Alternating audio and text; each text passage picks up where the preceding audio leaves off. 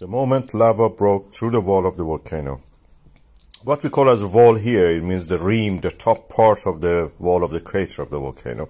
It first broke at this moment, you see in this part, and then broke at the second part. You see the smoke rising, now it broke through it. And this second uh, dent let the lava to spill over, uh, practically draining the lava pond. And uh, after that, the eruption is what we see now here. Is from three points at least, from the right to the center, you can see three points that are spilling over. And this is one of the most violent eruptions in the recent uh, weeks that I've seen.